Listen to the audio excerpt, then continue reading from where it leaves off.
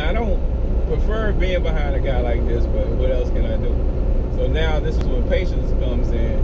Uh, you got some guy that's gonna ride up on his bumper, try to make him do what you want him to do. that's that's asking for a problem. And this really where patience come in. I know some of the things that I say, some of the things that I do, you have to question. Well, this guy talk about patience, but you know this right here kind of contradicts that. Now it's two, it's, it's different levels to it. You know, there's you got aggressive, you got patience, you got uh, moderate, uh, you got a balance. You got balance.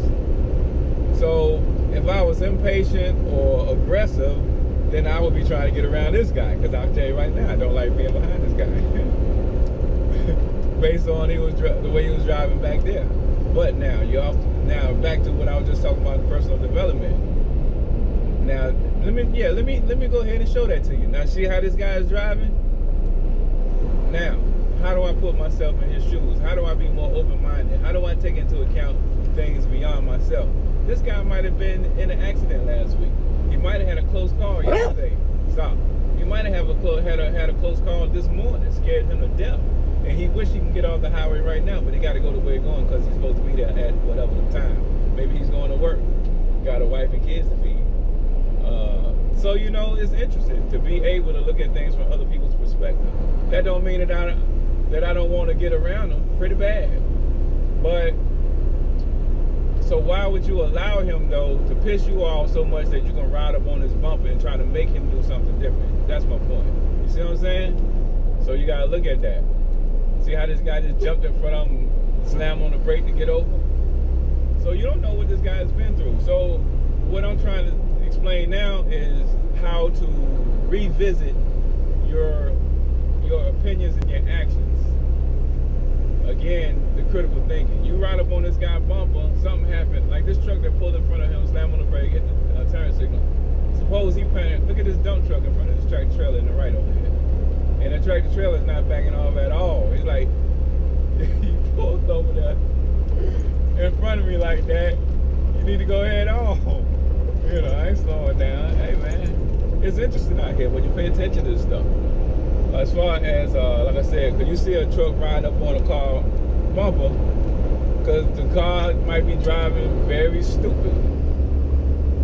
But again, you only you're jeopardizing not just the car, you're jeopardizing your own CDL. That is a ticket, that's a moving violation. Uh, ride up on somebody's bumper like that, and if there's an accident, you know how ugly that's to be. That's your fault.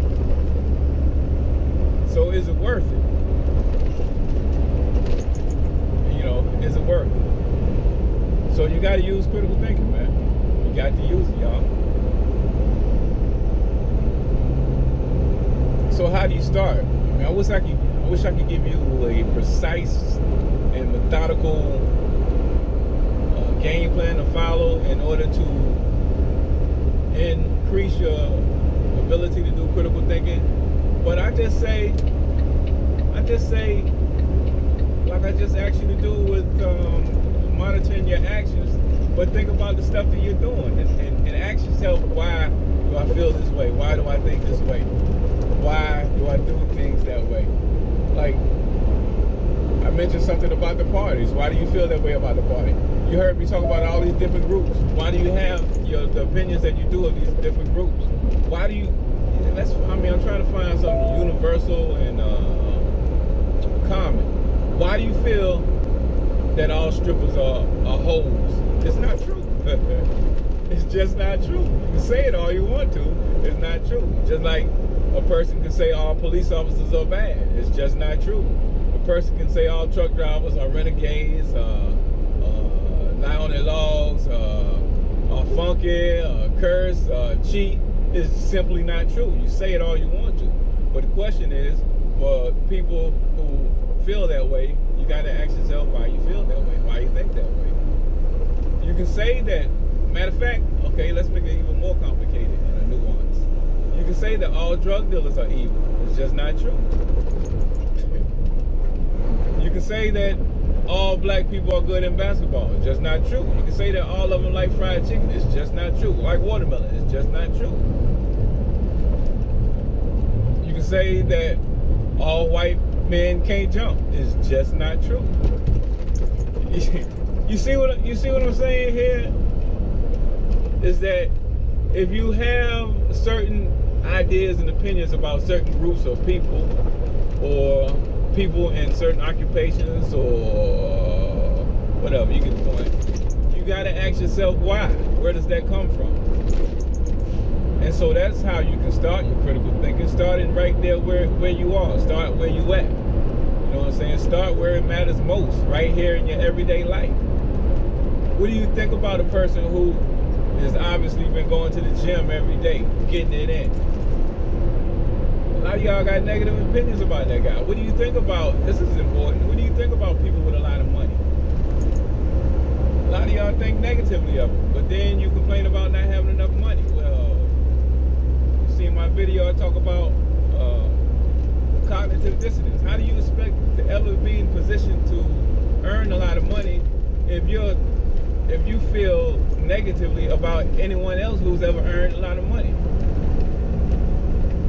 does not go hand in hand. Your subconscious mind works against you acquiring money because you keep saying that people who got money are evil. You see what I'm saying? So, what makes you believe that? What makes you believe that people with money are is evil and capitalism is is evil?